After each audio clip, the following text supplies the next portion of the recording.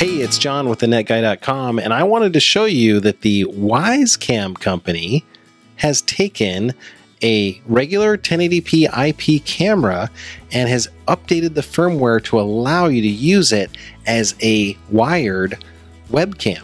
So this is the wireless $19 Wyze Cam V2 security camera and with a USB A to A cable and a new firmware update that they've just released, you can use it as a pretty good webcam.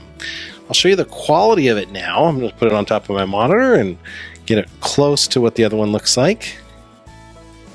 So you can see here, I'm recording same picture from both of these. Now I've got a lot of experience tuning up the C920 Logitech 1080p webcam. That's one of my favorites, but you can't get a lot of those right now because they're sold out. Everybody's on Zoom trying to get on these web chats. If you've got your computer, maybe it's docked, maybe it's closed, your laptop, and it's using an external monitor, so you can't use that webcam, and you need a webcam. If you've got the Wyze Cam V2 or the Wyze Cam Pan, you can use either one of those with a new firmware update as a webcam.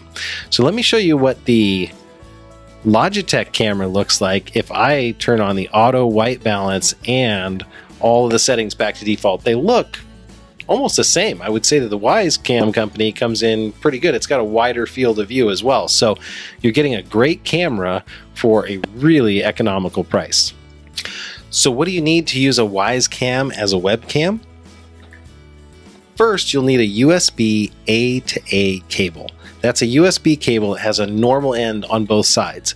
Now, I didn't have one of those, but I was able to order one of those off Amazon. And the second item you need, which is a 32 gig SD card, you can use as minimum of a 1 gig SD card, but the 32 is ones I recommend. They're $7. The cable was $7. So for $14 with free overnight delivery, I was able to get the Wyze Cam 1080p IP camera to work as a wired webcam. The installation is really, really simple. You put the firmware on the SD card, you insert it, you plug the cable into the back while holding down the setup button. You hold that for three to six seconds while the little light on the back is blue. And then it'll switch to this blinking blue and yellow light and that means it's done. And you now have a 1080p webcam. It would be great if they had some control software, but you know, I'm amazed that they were able to roll this thing out that quickly to help people out that maybe need a webcam in a pinch. So thanks again, Wyze Cam. Big fan of yours, and thank you for helping us all out that might need a webcam in this time. If you'd like to see more, and maybe even how you can use a old cell phone, if you've got an old iPhone, how you can use this as a webcam right now, check out my channel, thenetguy.com.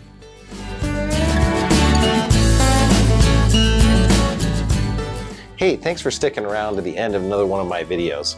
This stuff takes a lot of time. It takes me about an hour for every minute of final produced video. So when people are asking me to subscribe and like their videos, they're doing it because it's a passion and they would really love to have you come back and watch their next creation.